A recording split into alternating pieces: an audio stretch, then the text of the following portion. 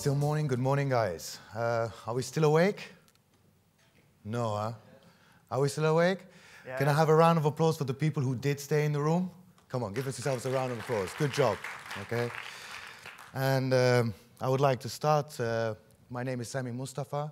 I direct the EMEA operation for Innergie, which is part of Delta Electronics.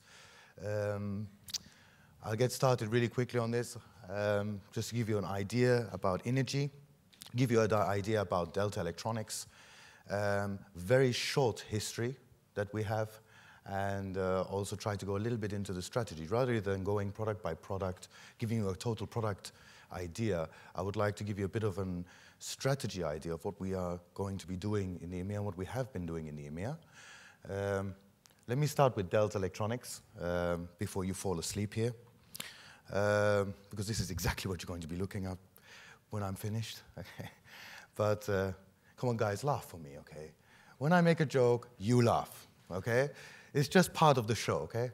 So uh, with Delta Electronics, um, I don't know if you know the name. We're not the airline.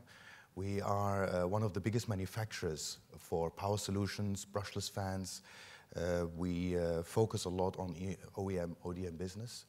Um, just to give you an example, um, started a long, long time ago. I don't know if you know this guy, God rest his soul. Um, they had to have a 45 watt power supply. And in those days, a 45 watt power supply would be about this big. Make a lot of sound, and would get really, really hot. So they designed something much smaller that would fit in their casing, and they came to us and said, like, listen, we don't have a manufacturing line, could you do this for us? And since then, we've evolved very far from that original Apple II to the today MacBook adapter, which we have 85% market share on, and we produce for Apple. But next to Apple as well, we have several other partners. I think you would know a few of these names here. One of our partners is, uh, pre had presented a few minutes ago, Lenovo, is a very good partner of ours. And um, we manufacture for these guys. Uh, 3M, we don't do the post-its, we do the projectors. Um, for Ford, we don't make the cars, and you can't get any free samples, especially not for GM. Uh, we do the electronics and fans and things like that. Tesla, I've tried to get some of samples from them, but they never give us any. But I mean, uh, some names that you might not know, like Foxconn, is one of our partners as well. But I just want to give you an idea that we have a very deep reach into the market and we do understand the trends. And this gives us a head start when we develop products. So what kind of products do we have? One of them we are presenting on our booth. Maybe you have seen it. It's the whitest booth you'll ever see. And uh, on that booth, we have our UPS systems. It's a reliable power source. And I think this is one of the most important products, especially for your business, because when you present this product to your customers, you're presenting comfort, safety. The simple idea that when there's a power shortage, they are safe. And you know, some of us Europeans will say, like, yeah, but this never happens in Europe. You know, when you're in Africa, yes, I'm from Egypt myself. I think we can count the days we do have power rather than the days we do don't. But if you look at, for example, Munich in 2012, power outage, a lot of companies suffered massively. New York, okay, power outage every five minutes. So it's a very important product, very reliable, good margin maker, and you're selling comfort, so it's easy. I think this is one of the only products that I'm going to be presenting. Okay? The rest is all about what have we achieved up to now and how have we achieved that and what do we intend to improve because it's all about improving. It's not about what we've done. It's about what we can do and what we've learned and how many failures we've had so we can learn from those failures. But let's talk about the success first, otherwise it's going to be very depressing. Uh, we have 18 awards, industrial awards, uh, today. These are some of them. I'm not going to go one by one, don't worry. Uh, next to that, we are operating in 41 countries. We've only been around for four years. Our division within Delta has only been around for four years, so 41 countries is a lot of work, a lot of traveling. You can see it probably on my eyes. And um, thanks to you guys, we have 210 retail accounts. When I talk about retail accounts, I'm not talking about Jack around the corner. He's very important to us as well. But when I talk about chains, these are the chains we're talking about, which are about two 10,000 store locations. And you know, when we talk about listing, we're not talking about one product hanging somewhere on the bottom of the shelf. We're talking about meters. We're talking about real listings and concepts in the store. And um, very important, we have 6.5 million happy customers, and happy is very important. Happy customers today. Um, how did we do this? Okay, we have a clear strategy. Uh, we have a clear idea on what needs to be done in the retail channel in order to create a success. How much the distribution purchases from us or how much retailer purchases from us is really irrelevant. What's important is how much do we sell through and how can we drive that sell through. And I'm sure you have many, many ideas, but we've put this all in a nutshell. First of all, you need dedicated space. Okay? And this dedicated space needs to be planogrammed well. Okay? It needs to be in every category. You have the Apple category, you have the normal tablet category, you have the smartphone category or mobile category, and then you have, of course, a laptop category. And we make power. And I was looking through all of these slides and I was listening to Nick, what he was talking about. And if you think about it, there are more and more mobile devices coming to the market. And if you look at these mobile devices and you look at the smartphone, I read a very nice article about what the smartphone is going to be for us in the next 10 years. Now, I just named three. One is it's going to be your personal assistant. Secondly, it's going to be your wallet. And thirdly, it's going to have a 3D screen. Now, what do you need if you have all of that? Power, okay? You're never going to have enough power.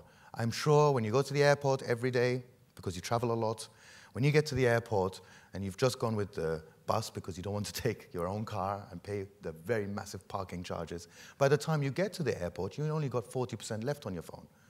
And now you need to think about, damn, I've got another 11 hours to fly, and the only thing that I've got to entertain me, apart from that stupid film that I've seen 75 times, is my smartphone or my tablet. But you haven't got enough power. And that's why we believe that this is a growing category.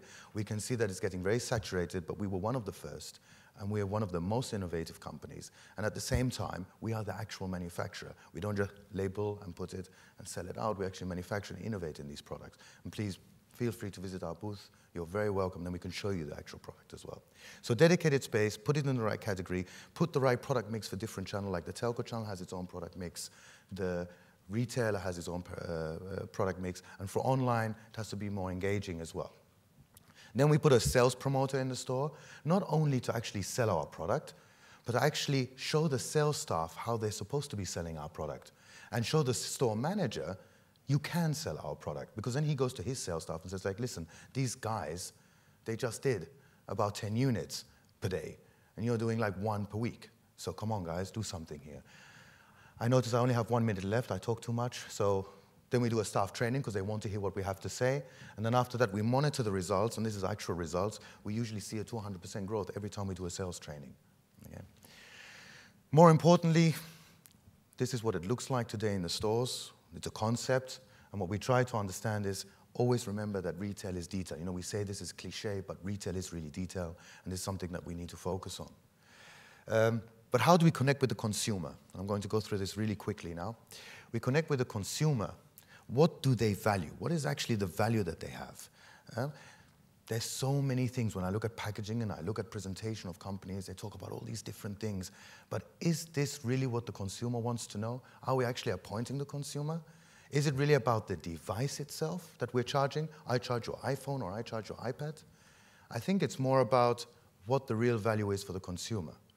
And that's the experience. It's about my favorite song or my favorite tune. Uh, that's what I want to listen to. I don't care how I'm listening to it, I want to listen to my song. I need the power for that. Or a new experience. Yeah? If you want to have that experience, you need to provide the power in order to have that experience. So we power up your experiences rather than powering up your devices. And that's, I think, the message that we need to give to the consumer. And um, this is how we do it. So yesterday I showed the Live Hub in a very, very 60-second massive time pressure, which wasn't enough really to explain the product how I wanted to. It wasn't very well done by us. But this is how I really want to present it. Um, it's about comfort. It's about charging your devices in a comfort situation because you paid 699 euro for this device and you're cramped up in your couch. And now you can enjoy the experience of your product with a four and a half meter cable. Yeah? With three devices, 30 watt, but I don't want to get too technical on you guys. And we need to engage and interact and educate our consumers. Now, I've got a very short video for you guys.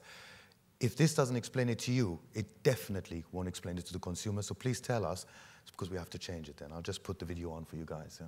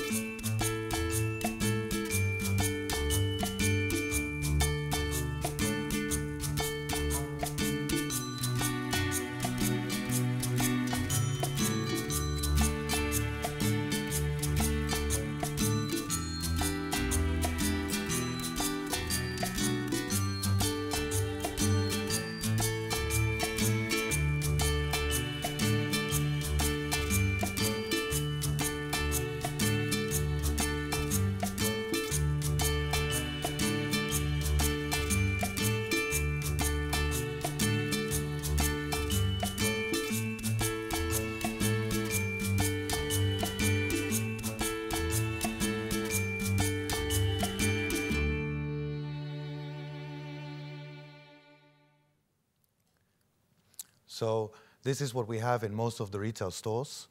Um, we put a screen, and it's a very reliable screen, and it runs this video. We put this also on YouTube, and we looked at the retention rate, and we saw that actually 75% of the people watched it till the end. So that's very good. So that means that it really explained it to the people. Please give us your feedback later on if this is a video that explained it to you. Now I don't need to talk about my product anymore. I'll let the video do it. And um, this is the packaging that we have. Um, we are further improving on this packaging, trying to explain the product better. Uh, but this is just to give the product a more high value. It's also in the Apple stores, so we are getting a lot of referencing for these products as well. And last but not least, the POSM that we have. So it's all about the experience, it's all about engagement. I hope that I have shared a little bit of our ideas with you, and I would like to thank you very much for your time, and uh, I hope you enjoy the rest of the show. Thank you very much. Sammy, cheers. Thank you very much. Thank you very much. Thank you.